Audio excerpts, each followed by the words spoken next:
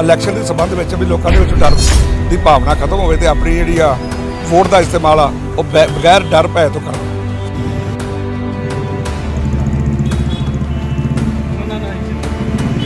ਸਾਡੇ ਨਾਕੇ ਪੰਜ ਨਾਕੇ ਚੱਲ ਰਹੇ ਆ, ਉਹ ਤੋਂ ਕਾਫੀ ਰਿਕਵਰੀ ਵੀ ਹੋ ਰਹੀ ਆ ਤੇ ਲੇਕਿਨ ਸ਼ਰਾਬ ਦੀ ਵੀ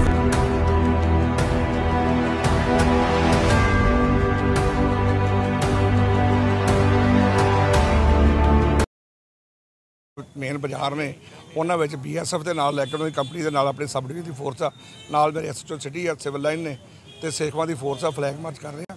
ਇਲੈਕਸ਼ਨ ਦੇ ਸੰਬੰਧ ਵਿੱਚ ਵੀ ਲੋਕਾਂ ਦੇ ਵਿੱਚ ਡਰ ਦੀ ਭਾਵਨਾ ਖਤਮ ਹੋਵੇ ਤੇ ਆਪਣੀ ਜਿਹੜੀ ਆ ਵੋਟ ਦਾ ਇਸਤੇਮਾਲ ਆ ਉਹ ਬਗੈਰ ਡਰ ਭੈ ਤੋਂ ਕਰਨ।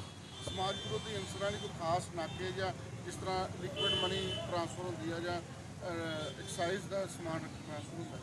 ਉਹਦੇ ਵਾਸਤੇ ਸਪੈਸ਼ਲ ਨਾਕਾਬੰਦੀ ਕੀਤੀ ਗਈ ਹੈ ਜੀ 24 ਆਵਰ ਚੱਲ ਰਹੇ ਸਾਡੇ ਨਾਕੇ ਪੰਜ ਨਾਕੇ ਚੱਲ ਰਹੇ ਆ। ਉਹ ਤੋਂ ਕਾਫੀ ਰਿਕਵਰੀ ਵੀ ਹੋ ਰਹੀ ਆ। ਲੇਕਿਨ ਸ਼ਰਾਬ ਦੀ ਵੀ ਰਿਕਵਰੀ ਹੋਈ ਆ ਪੈਸੇ ਦੀ ਰਿਕਵਰੀ ਵੀ ਹੋ ਰਹੀ ਆ। ਉਹਨਾਂ ਨੂੰ ਜਦੋਂ ਪੈਸੇ ਅਸੀਂ ਫੜਦੇ ਆ ਇਨਕਮ ਟੈਕਸ ਵਿਭਾਗ ਨੂੰ ਬੁਲਾ ਕੇ ਜੇ ਉਹ ਸਹੀ ਹੈ ਤਾਂ ਰਿਲੀਜ਼ ਕਰ ਦਈਦੇ ਆ। ਜੇ ਇਸ ਤੋਂ ਇਲਾਵਾ ਦੇਖਿਆ ਜਾਵੇ ਤਾਂ ਕਿੰਨੀ ਫੋਰਸ ਜਿਹੜੀ ਆ ਪੰਜਾਬ ਪੁਲਿਸ ਦੀ ਵਧੀ ਆ ਜਾਂ ਪੈਰਾਮਿਲਟਰੀ ਫੋਰਸ ਵਧਾਈ ਹੈ ਇਲੈਕਸ਼ਨ ਦੇ ਸੰਬੰਧ ਵਿੱਚ ਅਜੇ ਸਾਡੇ ਕੋਲ ਇੱਕ ਕੰਪਨੀ ਆਈ ਹੈ ਬੀਐਸਐਫ ਦੀ।